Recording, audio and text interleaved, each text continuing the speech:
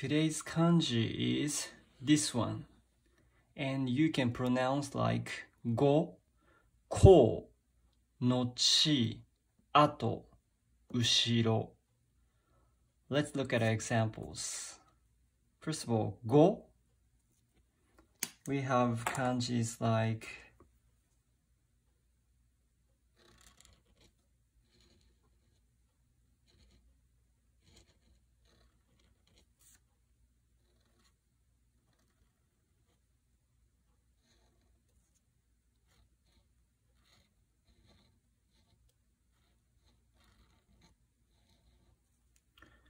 Kongo, Kongo, Kongo from now on.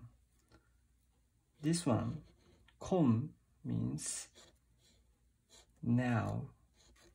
And this character means after, behind, back, and so on. So Kongo means from now on.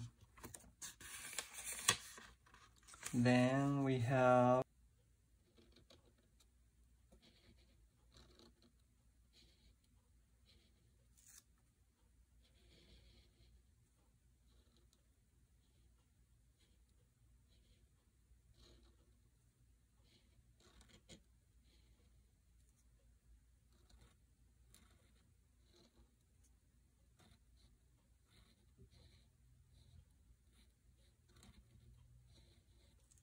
Saigo, Saigo, Saigo. Sai means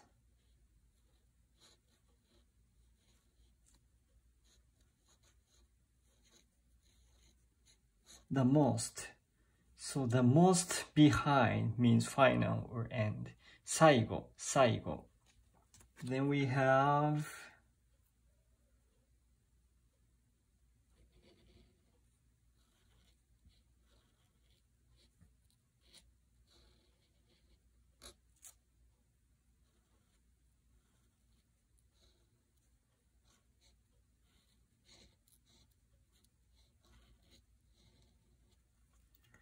Shigo, Shigo, Shigo means after death. And Shi, as you can guess, means death.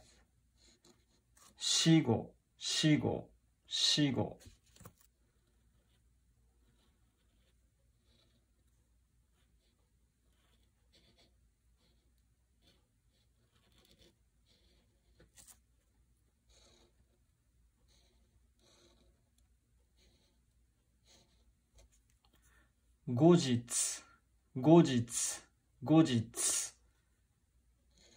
Jitsu means day. So this kanji character combined together means later date. Gojitsu. And then we have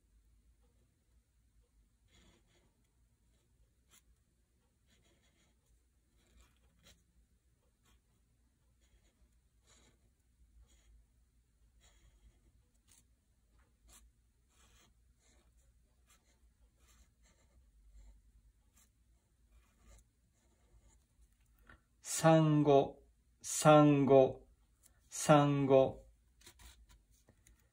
Sam means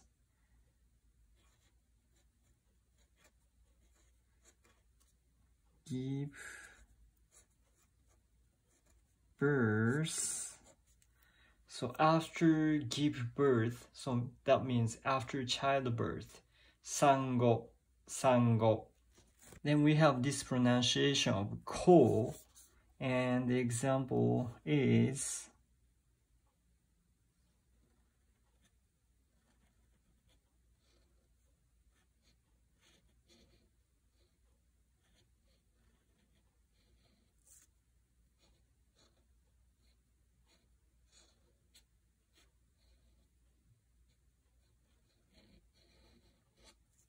Kotai, kotai, kotai.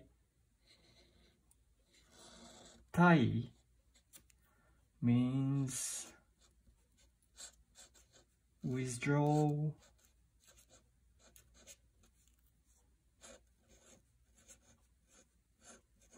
back, off. So this kanjis together, combined together, means retreat or recession. 後退、後退後退後退。Then we have this pronunciation of nochi nochi example is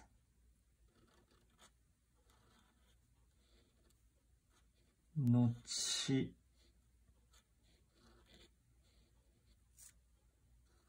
no no here is hiragana not kanji.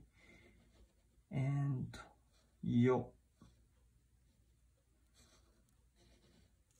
Nochi no yo, nochi no yo, nochi no yo.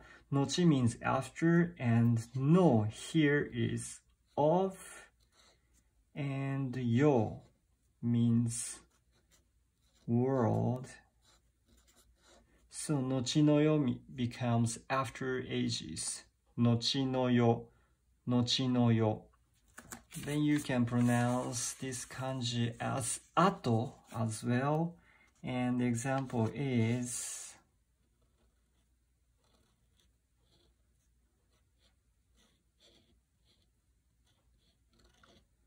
ato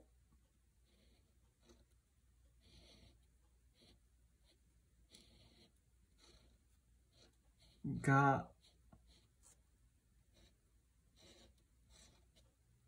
ki, ki is hiragana. Ato ga ki, ato ga ki, ato ga ki. Gaki means writing. So after writing, so that means after afterward or postscript. Atogaki, atogaki, atogaki. Finally, we have this pronunciation of ushiro, ushiro, ushiro.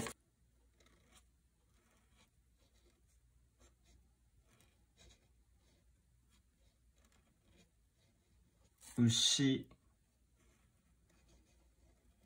This is hiragana, so doesn't have any meaning here. So ushiro this kanji character itself is the meaning of behind and back. So ushiro is behind or back. Ushiro, ushiro, ushiro. Thank you for watching.